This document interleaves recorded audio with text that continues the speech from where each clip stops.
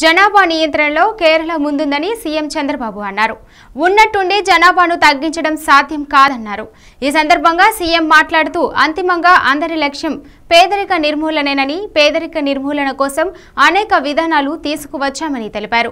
రెండు వేల పదకొండు జనాభా లెక్కల ప్రకారం నిధులు కేటాయిస్తామంటే రాష్ట్రాలు నష్టపోతాయన్నారు. ఏపీకి రావాల్సిన విధులు ఇచ్చారే తప్ప విభజన వల్ల నష్టపోయిన రాష్ట్రానికి అదనంగా ఏమీ ఇవ్వలేదన్నారు.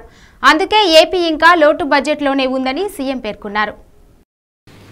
Afterwards every state is implementing even during my founder's time in Andhra Pradesh he started two rupees KG rice everybody said it is unproductive you cannot do it now there is a food security after a long time we brought food security as a right This is where I am saying it is again last election. I announced debt relief for the farmers because farmers are in distress. distress. Now every government is giving now. It, they are forced to give all these things because of problems.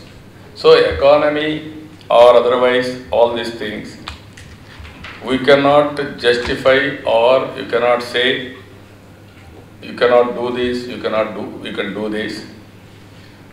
There is a cooperative federalism. In cooperative federalism, different states are having different problems. Even some problem, there is a problem in Andhra Pradesh which may not have a problem in Tamil Nadu or in Kerala.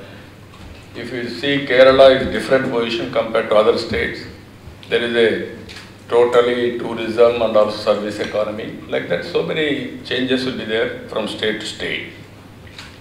So what I propose, all of us are here, all professors, economists are here. If you see, for the last three years, I am a strong believer in development. We are able to grow year by year, 2014-15, 9.20% growth in Andhra Pradesh, whereas all India 7.40. That is the bifurcation year, only 10 months. 15, 16, 10.60, all India 8.20. 16, 17, 11.07, 7.11 all India.